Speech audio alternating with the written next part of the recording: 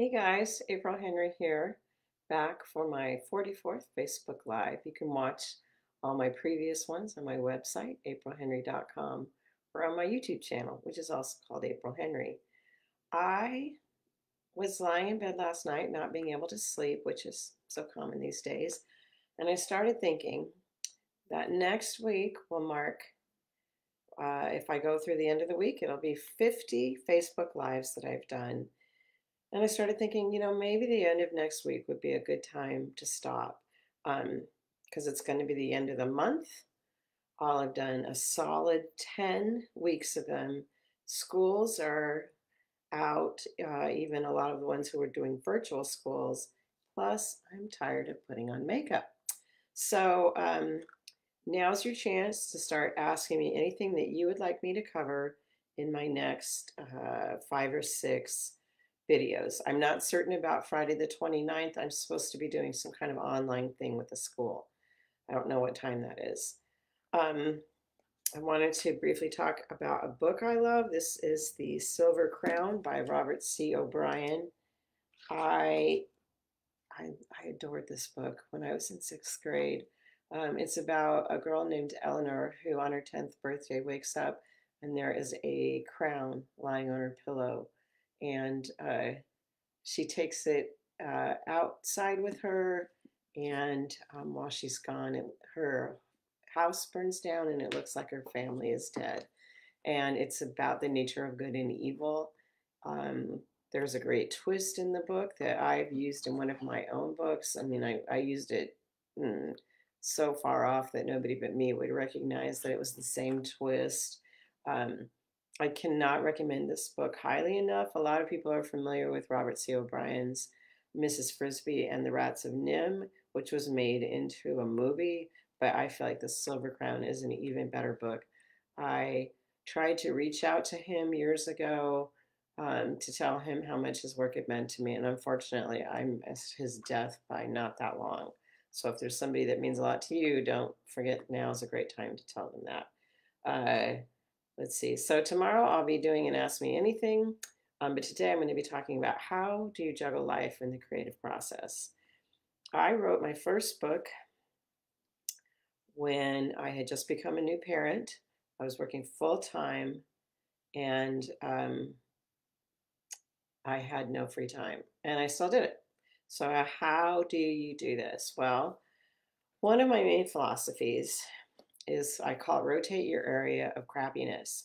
You're always going to be a crappy mom, a crappy cook, a crappy exerciser, a crappy parent, a crappy writer, crappy worker, but you can't do the same one all the time, or whoever is on the end of that is going to get sick of you. So you rotate your area of crappiness. One day, maybe you skip the exercise, the next day, you make a dinner that is entirely made of heating up Trader Joe's entrees and mixing them together but try not to be consistent in what area that you're falling down on. Um, one of the things I've done when I've been trying to write is to get up super early and um, and just go straight to the computer and write. Uh, for some people who are not morning people, it works better to write at night. Um, Allison Brennan, I think, wrote a lot of her books after midnight with a glass of wine at her side, and she wrote a ton of books that way. Um, and one thing that I did when I was working full time was I asked to change my work hours to four tens. So I work from six in the morning to four in the afternoon. And I loved that. That gave me an extra day uh, that I could help devote more time to writing. And actually, with those times too, I missed a lot of uh, bad commuting time. Um, find little slivers of time to write 15 minutes, 10 minutes, five minutes you can always find something. And look at the edges of your day. I feel like there was there's often time maybe at the beginning or the very end that you can use. Um, start small. I am on um, a website for something else where there's a community forum and there's a person on there who wants to be a writer and he said he has to he set a goal he was going to write 90 minutes every day and every day that didn't happen well, 90 minutes is a lot for me. I don't have that good of a concentration. For somebody who's just starting out, 90 minutes is not going to happen. So you need to set your sights super low. In fact, uh, right now, what he's doing is that every time he checks our community group message board, he after he finishes, he writes a single sentence. And that has been percolating throughout his day and allowing him to write more. You need to set your standards really low and then be happy with um, praise yourself for how you did. You wrote a sentence, you did something. I have several projects I'm working on right now where I'll put on my to do list, just write one sentence on that project.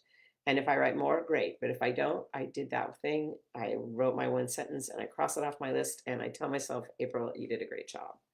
Um, that's actually a technique that I'm working on from a book called Tiny Habits by BJ Fogg that I am very, very much enjoying. And I am so glad I got it on my Kindle.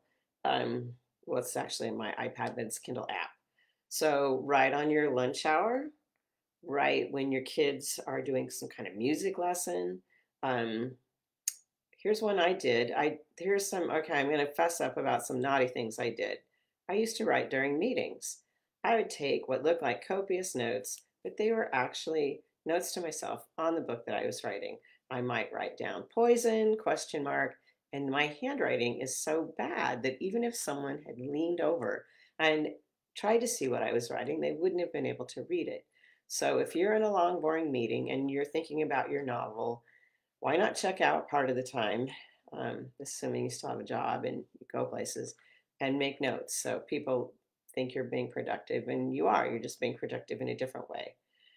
Um, I also used to, uh, okay, don't tell, but I used to every hour I would write for five minutes um, at work which is wrong and bad, and I shouldn't have done it. But it did help me move my books forward.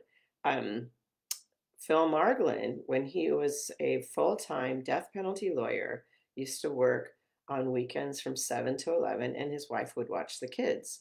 So you don't necessarily need to write every day, although I feel like you do need a writing habit, but you decide what the writing habit is.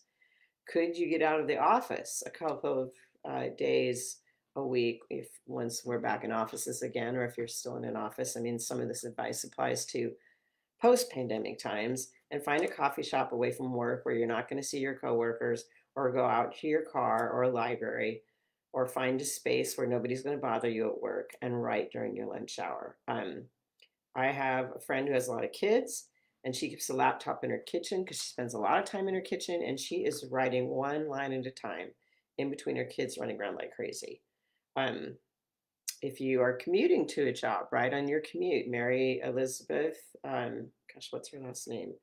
Uh, Summers, she wrote her first book on her phone with her thumbs on her commute. Now she is young, she can do that. I probably couldn't do it, but is there commute time? Some people have dictated sentences to their phone when they're stopped at a stoplight. Um, I, re- I heard a story a long time ago on NPR about a guy who would think about the perfect sentence that he was going to write down on his on as he drove to work. He wouldn't write it until he got to the parking lot, and then he'd write that one line. And he actually wrote several books that way.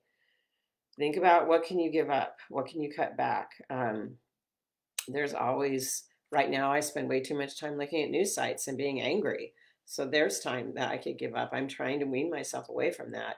Where if I read one more bad story, you know, it's not actually helping me or teaching me anything, and it's just taking away time that is precious.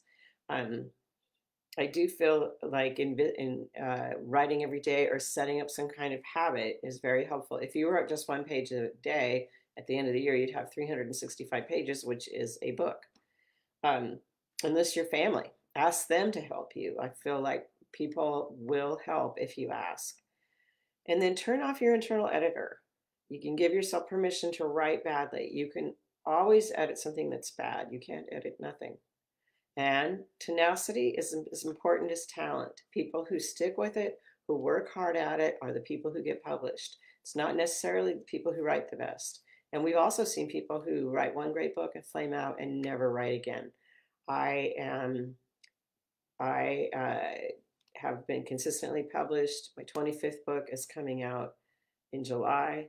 So by writing in small chunks and being consistent with it and working to make my writing better, I've succeeded.